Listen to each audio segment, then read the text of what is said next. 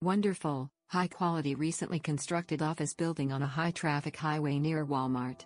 This is an all-brick building, built to the highest standards with a TPO roof and hurricane-rated windows. Most of the interior is unfinished and can be easily completed to your specifications.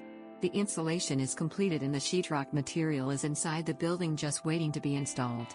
The parking lot has concrete curbs and there is a pylon sign with an LED portion to capture the reported 24,000 daily traffic count.